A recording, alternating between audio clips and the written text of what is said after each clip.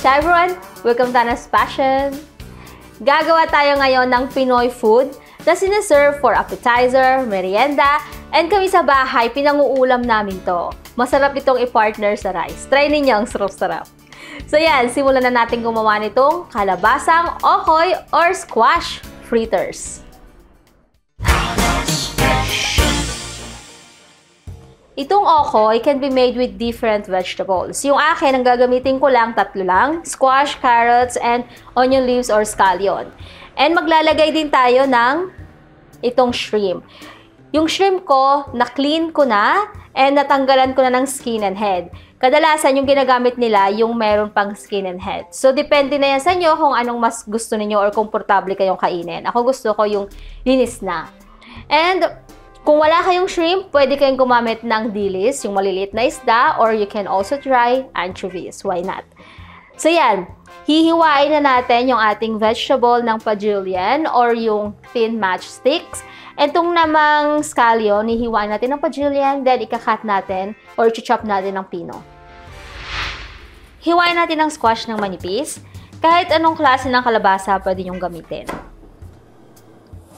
Then, ikat natin ito ng pa-julienne. Mga ganito kanipis. Itabi natin. Next, ang carrot. Same din lang ang paghiwa. If struggle kayo sa paghiwa ng ganito, gumamit kayo ng grater, lalo na pag nagmamadali kayo. Then, ang scallion. Ihiwain ko ito ng pahaba. Then, saka ko ito i-chop ng pinong-pino. Kung gusto nyo, pwede din kayong gumamit ng parsley or cilantro. Set aside natin, then proceed tayo sa paggawa ng vinegar garlic sauce. Para sa sauce, i-chop ang onion,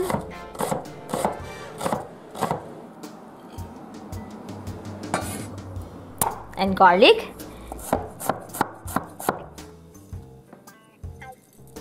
Then maglagay tayo ng chili flakes. Pwedeng fresh or powder. And last, ang vinegar.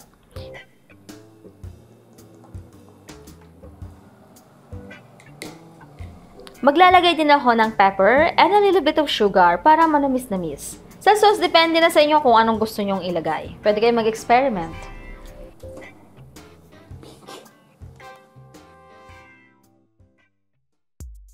Ayan, na-prepare na natin lahat ng ating veggies. And nakagawa na rin tayo ng sauce for our okoy. So, bago tayo gumawa ng ating batter na gagamitin, initin muna natin yung oil. Then, proceed na tayo sa ating batter. Kunin ang tubig, ilagay sa bowl. May tip pala ako, kung gusto ninyong mas malasa or mag-stand out yung lasa ng shrimp sa inyong okoy, pwede kayong gumamit ng shrimp broth. So, sa ating tubig, ilagay na yung cornstarch and flour. Naglalagay tayo ng cornstarch para crispier ang coating natin. Yung iba gumagamit ng rice flour for a nice and light batter. Pwede yung subukan yan kung gusto nyo. Itong ginagawa nating mixture is very light lang. Then, i-add na rin natin ang baking powder. Ang baking powder makes okoy crispy.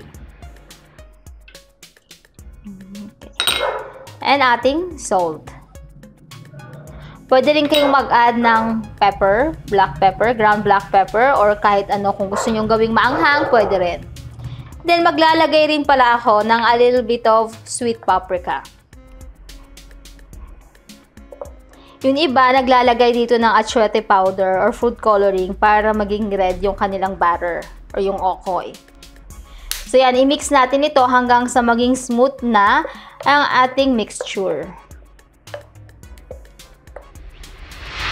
Ready na ang ating mixture, ready na tayong magluto. Sa pagluluto pala, dalawang pamamaraan ang ginagawa nila. Yung iba, nilalagay lahat ng vegetable dito sa butter, then hinahalo magkasama. Pero itong ating gagawin ay iba. Maglalagay tayo ng butter dito, then yung vegetable, then butter again for the last layer, then i-slide natin dito sa ating hot oil. So yan, gawin na natin. Maglalagay tayo dito. Pag masyadong madami. Then, itong ating squash. Halo natin Itong carrot. Hindi natin masyadong dadamihan yung carrot. Yung sapat lang. Then, ang ating onion leaves.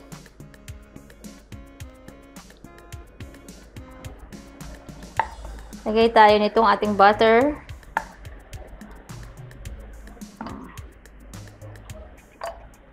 Then, mix-mix natin.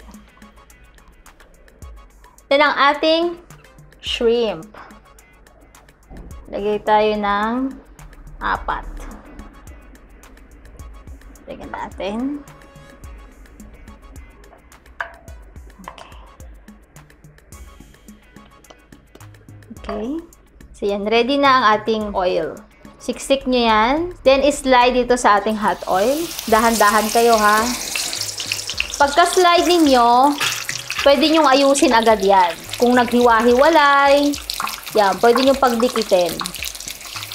Lulutuin natin ito for 3 to 4 minutes each side. Bale, total of 6 to 8 minutes. And yung ideal temperature ng ating oil ay nasa 170 degrees to 180 degrees Celsius or 350 Fahrenheit. Keep the oil in high temperature para hindi mag-absorb ng too much oil ang okoy. Pag nag-absorb ng too much oil yan, magiging greasy and soggy ang magiging result. Yan. So, okay na siya.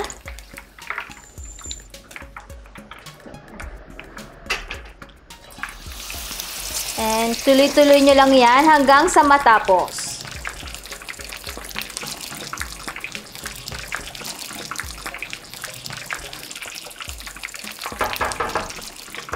Pwede nyo itong patuluin sa cooling rack. Pwede rin naman sa cooling kitchen paper.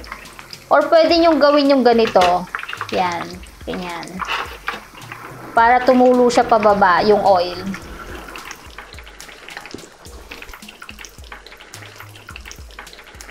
So, nakagawa tayo ng 6 okoys.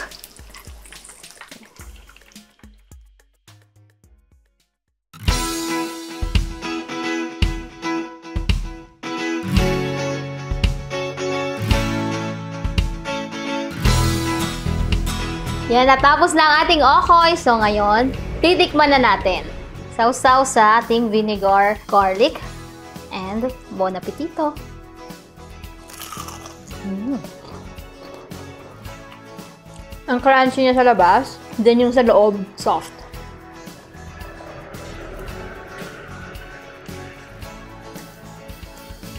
Masarap ito partner sa kanin actually.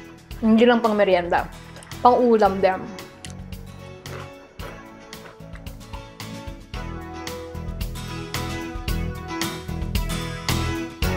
So that's it for today guys. Sana nag-enjoy kayo sa ating squash fritters or kalabasang okoy at kung nag-enjoy kayo, please huwag kalimutang i-like, give this video a big thumbs up, and subscribe to our channel. And huwag din kalimutang mag-comment sa baba. Ciao for now!